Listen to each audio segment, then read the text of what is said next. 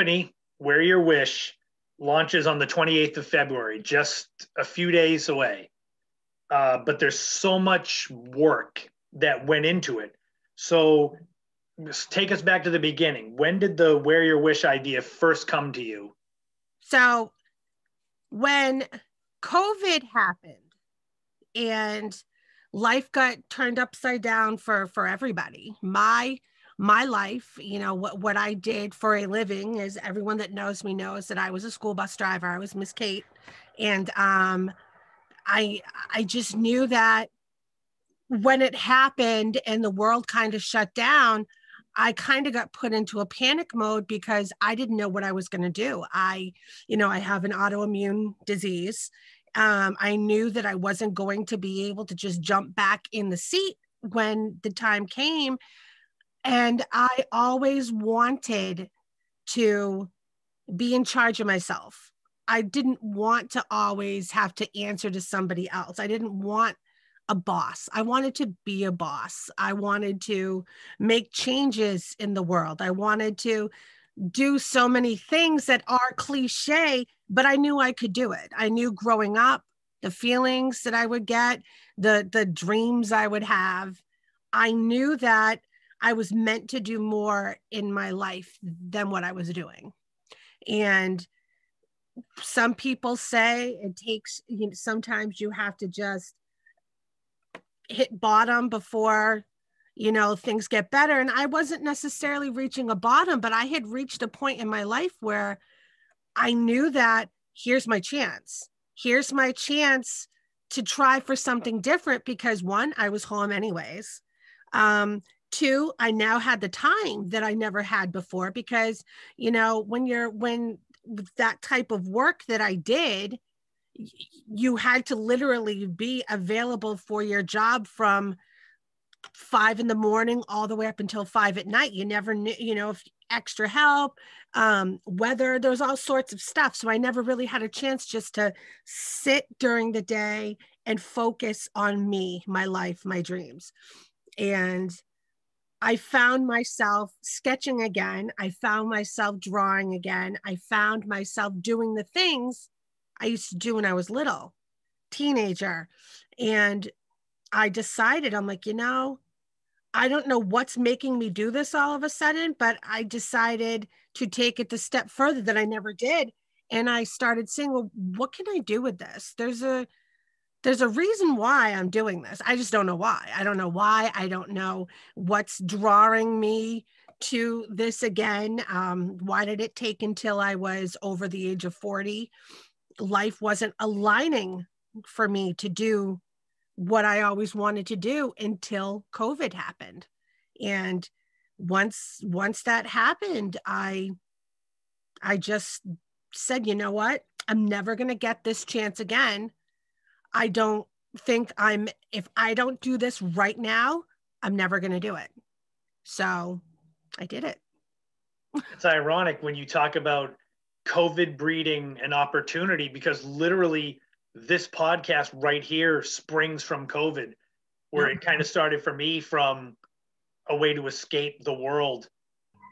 And so I, I was always told by grandpa if you love what you do, you'll never work a day in your life. And, you know, that's something that I can remember him saying when I was younger. I remember him saying that at different spans of time in in life when um we would be talking and I could always, you know, I because I remember I'd ask him a question about why would you want to get up so early to go to the to the donut shop?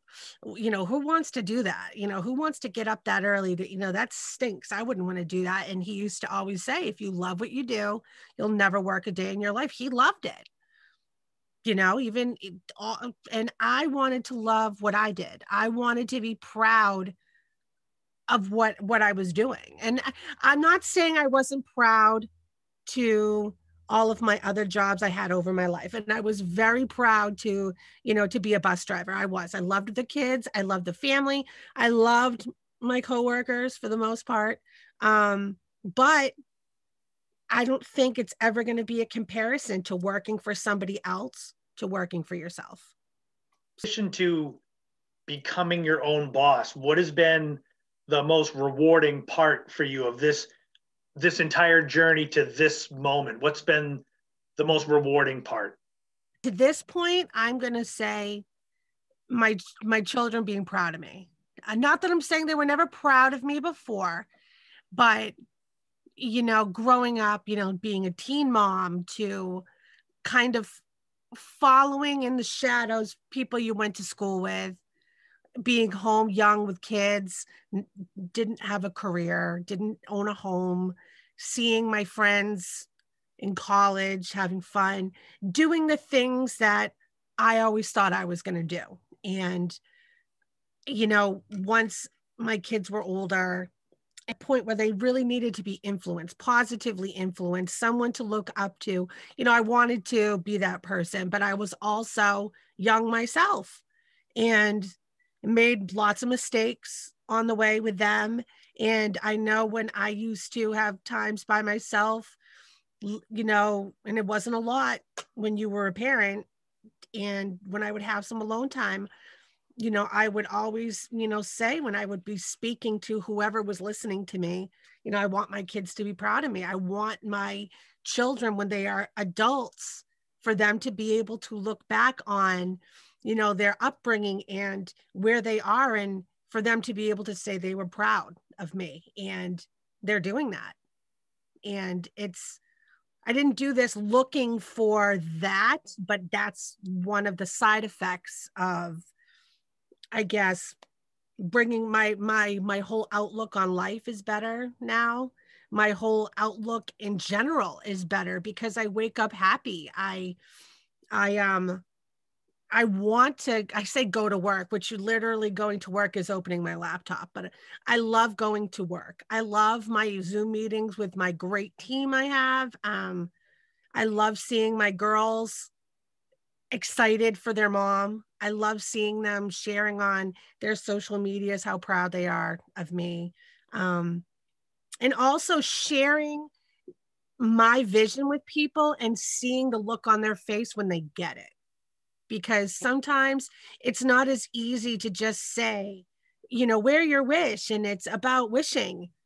Yeah, it is, but it's it's more than that. It's not just wearing your wish it's it's the feeling it's the the motion the whole um you know the steps involved with with the the wishing and stuff and when i sit down and i explain it to people and then they get it and then they can start to kind of share back with me the feelings that they got and hearing they're getting exactly what i want them to get it's it's great it's a great feeling naturally with the rewarding part of the journey, there's also difficulties. So, what have been some of the challenges that you've had to go through? Because this has been a long process. It's not like you woke up one day and boom, here's right. all everything is done. You've had some difficulties. So, um, what have those been, and how have you dealt with them?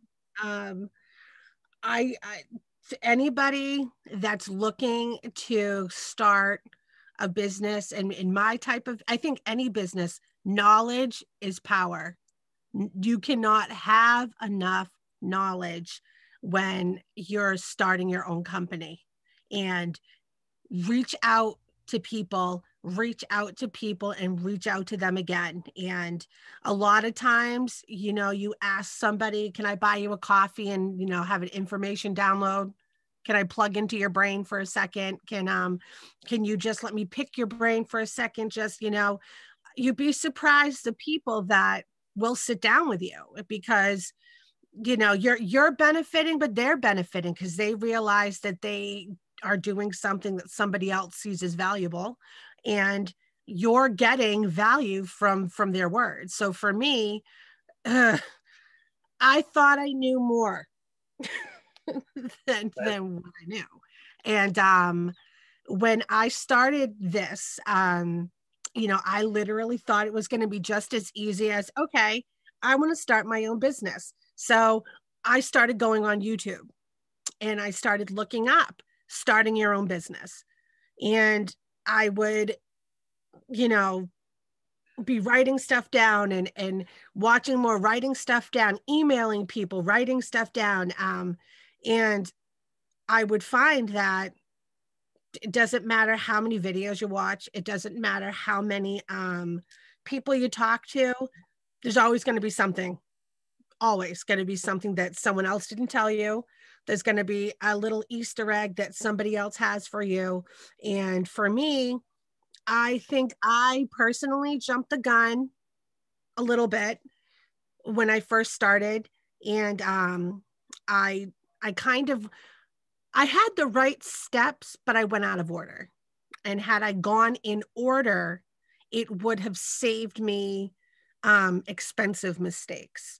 And when I say expensive mistakes, I mean it's it's not just hey, I think I want to you know start a business. There's legal um, aspects of it. Um, depending on the line of work, like me, there's trademarking involved. Um, if you want to do business under a different name, which I found I had to do, um, that was the expensive mistake I'm talking about. Um, so for me, it's just make sure before you sit down and you're going to swipe your card to make an investment on yourself because it's an investment. A lot of times to start your own business, it's not free. I mean, I maybe it is for some. For me, it wasn't. I mean, I I literally it, you know it cost me some money to get my business started you know with the like i said the the trademarking the making sure that um, my stuff was legal making sure that i wasn't picking my name wasn't being used by somebody else making sure um, uh, you know tax purposes um, just all, all of that stuff.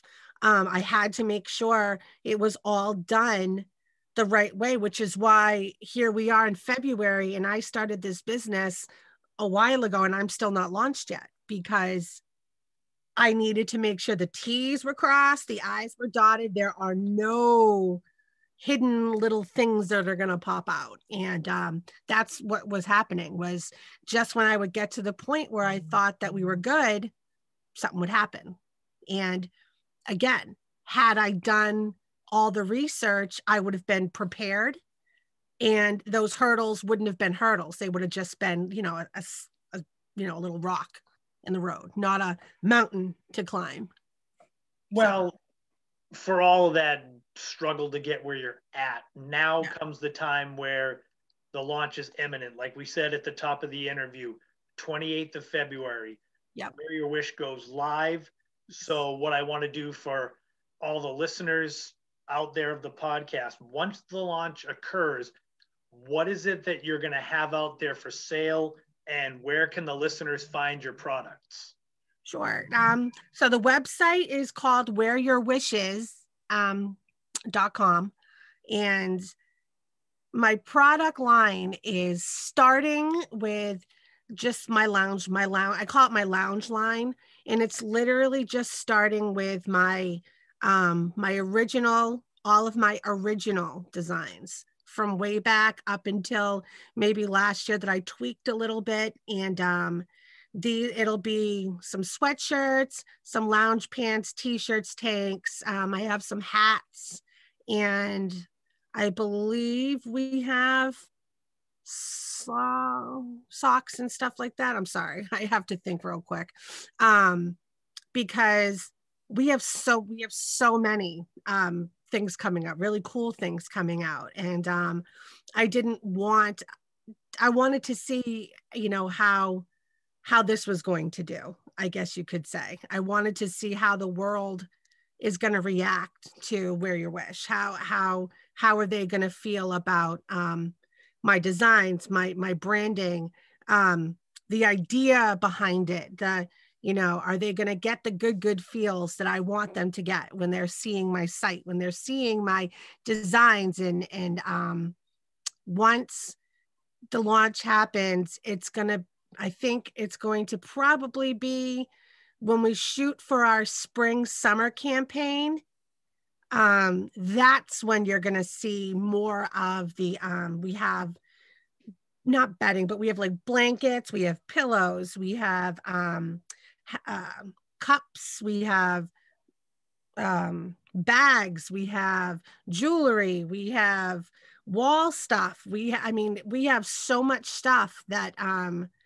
it's it's it's i didn't you know just i wanted to release a little at a time so that i could you know see where people are at how are they receiving it? Because i want this to be almost you know we kind of go back and forth with each other i get lots of feedback from people of um, designs that they like or types of outfits they like clothing they like do they prefer more of a certain type of shirt over a different shirt. Same thing for bags, same things for cups, same things for stuff.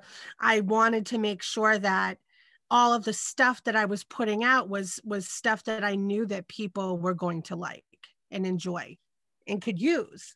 I don't want someone to um you know look at my stuff and just say oh i love those designs but i would never use it on a this. I would never use it on a this or i like that sweatshirt but i don't like the big hoods. I don't like that you know what i mean? So i wanted to start off small and then grow. You've got a lot of different designs too. I know that i've i've seen them but i know you have i don't want to say alternate ones but you've got like a main yes. design and some other different ones yes my um so my my branding that you got that people see on my instagram and on my facebook my brandings um my logos and stuff like that those were literally years of all of my designs that were made into one concept for and um my it's it, my designs are literally they're so different. You're never gonna it's it's like and i made sure i talked to a lot of people when i say you know i have some of my designs are very delicate and intricate and pretty. And then i have ones that are just like it's there you go here's here's a beautiful star. Or um, i have it's written. I have instead of it being pictures there's just words. Instead of um, you know there could be a dandelion with the star together or it's just a star or i mean i have so many different things. And then I have, you know, designs that you have to take a second and look at it, but when you look at it, you get it. But you'll you'll have to look. For instance, my my logo with the um I'm sorry, with the R going into the I. So it's the star, it's the dandelion going into the star. But in between the seeds, you'll notice there's an 1111 in there, which some people took them a little while when they realized it and when they were like oh i never even noticed that. And it's oh like that's so cool. Yes and you'll find in my designs you'll see that a lot. Sometimes if it's if i have a lot of 11 11s 11 11 is a very important number um, for me people out there if they i haven't met one person yet that when I say, what do you think of when you think of 1111? They'll say, make a wish. Or they'll say, oh, it's the, you know, it's the wishing number. Or it's, you know, when I see that number, I look for that number and I make a wish. Or it's synchronicities. It, you know, for the, the very spiritual people, for the people that believe in signs, for the, for the, the kids that just, don't really know what it is. They just know when it's 11 11, they say make a wish. I mean, that was so um, on even on those designs, you'll you'll find something in there that you wouldn't even but you have to look for it i won't tell you where it is but you'll all of a sudden you'll just see it and you'll be like oh which is why i made sure my site was where your wish is because nine times out of ten your item's going to have more than one wish it's not it's always going to be multiple so the 28th wear your wish is launched yes what comes next what are the plans for the rest of 2021? I know you've gotten a lot of positive feedback already as far as the company and the brand go. So where do you see this going for the rest of this year? I I see um once we hit the spring and summer, I see us making a bigger splash than the ripple that we're making right now. Um, just due to COVID, a lot of things we're not able to do that we really want to do. Um, I have a luck collection that that will be coming out. That's um, based off of again, just think of like things that you think of when you think of luck.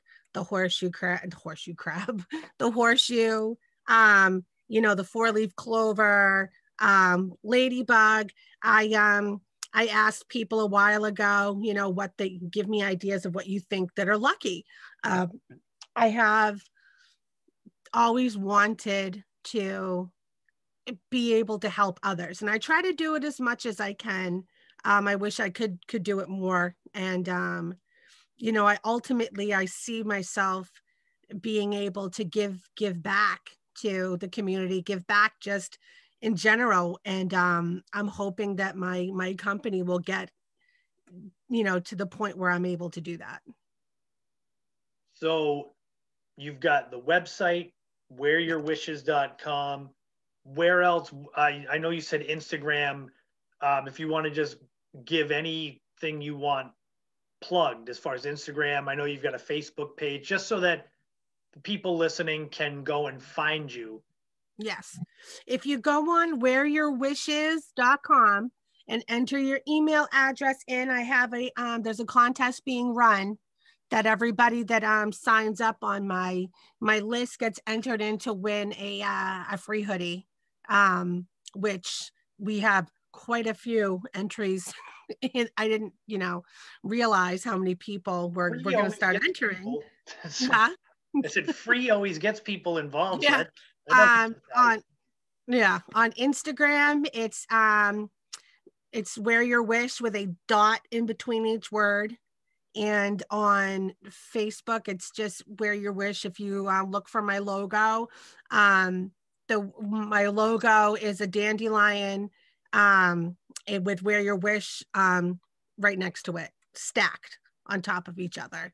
Um and yeah um it's going to be I, I hope people see see my designs. I hope they like what they see. I i i hope that when they come onto my page and they can just stop for a second and just remember when things were good. Remember when um, you were little sleeping over your friend's house in the summertime and you know you're outside maybe at night because your parents let you hang out a little longer and you look up you see the shooting star and that excitement that you would get as a kid or you know when you're outside and um, it's it's like fall it's to the time where things are starting to get kind of you know dark and the summer's over and all of a sudden out in the you know the the grass you just see the perfect dandelion. And i don't mean the dandelion that's missing a few seeds the perfect fat white dandelion that you pick and the whole process of you find it you get it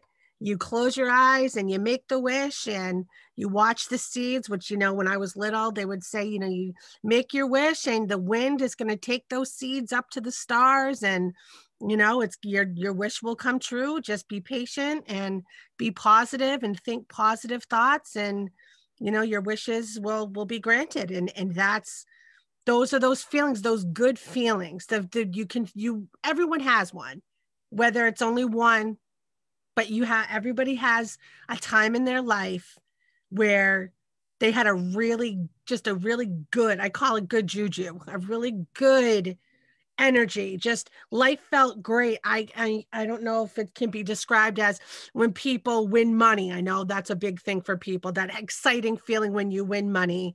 Um, little kids on christmas morning um, getting married having a child um, you know, being rewarded for something, just that feeling that you get. There's a feeling you can't bottle it, you can't fake it. It's just this awesome feeling. And when you have it, people's faces look different. You can see it in their eyes, you can just see it, and you know that they're feeling it. And that's the feeling that I want people to get. If I could bottle that feeling and sell it, this would be wear your wish. So that all sounds great. It's really exciting and it's been a long time coming. I know I've been hearing all about as you went on, and it's so exciting that it's finally here.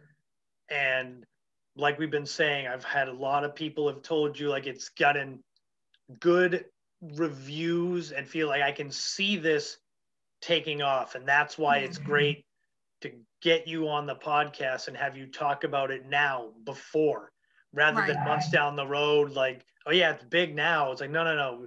We're gonna watch the whole journey because as we go along, with the podcast, the listeners out there. I'll keep updating because Wear Your Wish is going to be a frequent sponsor of this podcast. That's right. Time you have something new you want shared, like you said, the luck line. All you got to yeah. do is just say, I got this coming out. Can you share it? Yup. There you go. I love it. And, you know, anybody out there, don't ever, ever think that there's something that's not in your grasp. It's, I never, ever thought that this, this dream of mine would be something that could come to fruition. Um, you know, I've, I've done this all by myself. I didn't, um, you, you know, I just, I would be using my my what do I what do I want to say? I just would be saving money and saving money and saving money. And anyone that knows me knows that I'm pretty good about um, making sure that all of my my um, finances are are in order. I will do the best that I can with what I have. And um, I my children never had a need or a want for anything. I, I made sure they had everything, but at the end of the day, I would be saving money and I never really knew what I would be saving money for, but I would just not spend it. And I couldn't figure out. I'm like, yeah, I could have taken a trip. I could have done this. I could have paid off my car. I could have done so many things. What what am I doing? And I and I know now that everything was aligning for me to be in this position in 2020 where that money was going to be the investment I made in myself. And that's what I did. So it's possible. Sometimes it may take a little longer. It may take you, you know, your resources may be different. Um, you may have um, lots of people in your lifeboat that can help you. But if you have the drive and you you have a vision, just do it. Just do it. If you can only do it in your spare time here and there, do it as much as you can to the point where you can take it to the next level because I'm telling you, it's the best feeling. Well, you have gone from wearing your wish to now living your wish. That's right. And thank you so much for taking a few minutes on the eve of the launch of your brand to spend some time with the listeners of the podcast and give them a little bit of an insight into who you are, the journey you've been on, and now here comes the fun part the launch and everything all the seeds you planted come to fruition now. That's right. So thank, thank you to all of my, to you my brother. Thank you. And just all all i mean in addition to my family and my friends but you know all of the people that have helped me. I mean i have a wonderful team that is that i have with me my social media team my web team my um the graphics team like we've all been they've all been intricate parts together but without them this would not be what it is. So just they know who they are i don't want to put them on the spot but um you know mc um april kaylin you guys are awesome. I appreciate everything you've done and um, we're going to keep going so. Excellent. Thank you yeah. so much. We look forward to watching the journey and being a part of it that's right. Thanks, guys.